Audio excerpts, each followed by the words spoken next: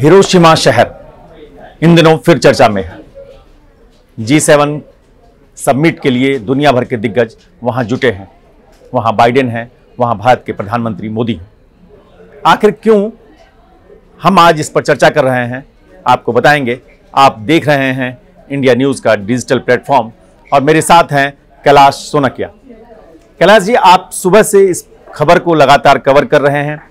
आपने आज देखा कि वो हिरोशिमा शहर जिसने युद्ध की सबसे विभीषिका जो है वो झेली है उसके बाद संभला है।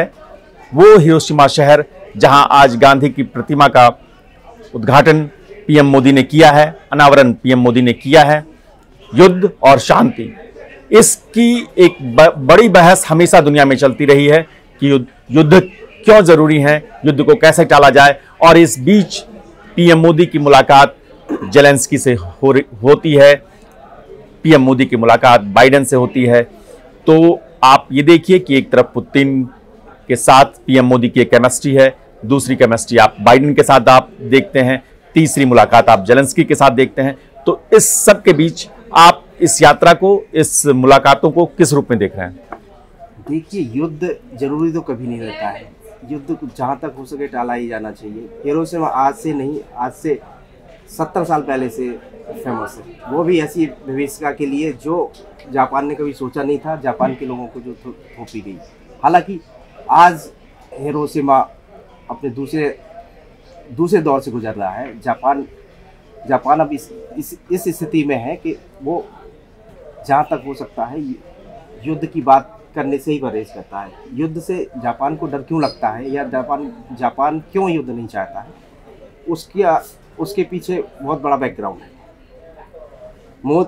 मोदी समेत जी सेवन के बड़े बड़े नेता इस वक्त हिरोशिमा में हैं। हिरोशिमा में मोदी जी बाइडन से मिले हैं, मोदी जी जेलेंस्की से मिले हैं, लेकिन दोनों की मुलाकात के समय दोनों की बॉडी लैंग्वेज अलग थी, दोनों की केमिस्ट्री अलग थी। मोदी जी जिस वक्त बाइडन से मिल रहे थे, उस वक्त उनकी दोनों के बीच की जो अंडरस्टैंडिंग थी दोनों के बीच की जो केमिस्ट्री थी वो अलग थी। मोदी बड़े प्यार से बाइडन से गले मिले। इसका मतलब सीधा सीधा कूटनीतिक शब्दों में ही समझा जा सकता है कि भारत और अमेरिका के बीच अभी रिश्ते बहुत अच्छे हैं और वो और गर्मजोशी के साथ आगे बढ़ रहे हैं।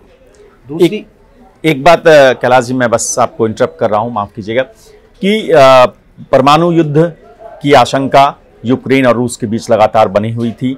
उस वक्त पीएम मोदी को एक अमन दूत के रूप में देखा गया, शांति दूत के रूप में देखा गया, क्योंकि वो जो तनाव साल भर पहले जब एकदम पीक पे था, उस समय मोदी ने पुतिन से बात की उन्होंने जेलेंस्की से बात की, और एक बड़ा खतरा जो परमाणु युद्ध का मंडरा रहा था दुनिया पर, वो टाला। इसके बाद, अब जो ये मुलाकातें हो रही हैं, उसको आप एक परमाणु शक्ति संपन्न राष्ट्र के रूप में भारत को दुनिया देखती है, और उसने हमने एक बहुत लंबे समय तक इसके लिए लड़ाई लड़ी, इसको दुनिया का ये झेला कि आपके प्रतिबंध हमने झेले। लेकिन आज दुनिया देख रही है कि भारत परमाणु शक्ति संपन्न होने के बाद भी शांति की बात करता है, अमन की बात करता है। तो इस लिहाज से आप इन मुलाकातों को देख, बताइए कि इसको आप कैसे देख रहे हैं? देखिए, मोदी जी का, गांधी जी की मूर्ति पर माल्यार्पण करना मोदी जी का गांधी के ज़रिए शांति का संदेश दुनिया को देना इस रूप में देखा जाना चाहिए? चैलेंज की और राष्ट्रपति, रूसी राष्ट्रपति पुतिन के बीच अदावत बहुत पुरानी है।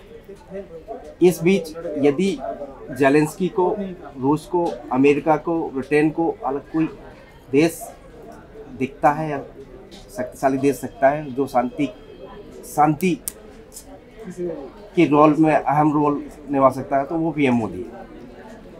जेलेंस्की की पीएम मोदी से मुलाकात का मतलब ये है कि जेलेंस्की भी इस ओर इशारा कर रहे हैं कि रूस और यूक्रेन के बीच युद्ध काफ़ी से खत्म हो। खत्म नहीं हो रहा है। वो वो चाहते हैं कि मोदी जी इसमें मध्यस्थता करें। मध्यस्थता करें और युद्ध को किसी ना किसी कैसे भी किसी भी परिस्थिति से एक एक अच्छे सौहार्दपूर्ण माहौल में। खत्म करवाने की कोशिश तो हिरोशिमा से पीएम मोदी की इन तस्वीरों पर लगातार हमारी नज़र रहेगी और आप अगर आने वाले दिनों में मोदी को एक शांति दूत के रूप में देखें और ये चर्चा हो कि यूक्रेन और पुतिन के बीच में यूक्रेन और रसिया के बीच में जो युद्ध चल रहा है उसको खत्म करने में भारत ने एक अहम भूमिका निभाई मोदी जी ने एक अहम कूटनीतिक भूमिका निभाई तो कोई अचरज नहीं। आप देखते रहिए इंडिया न्यूज़ का डिजिटल प्लेटफॉर्म। धन्यवाद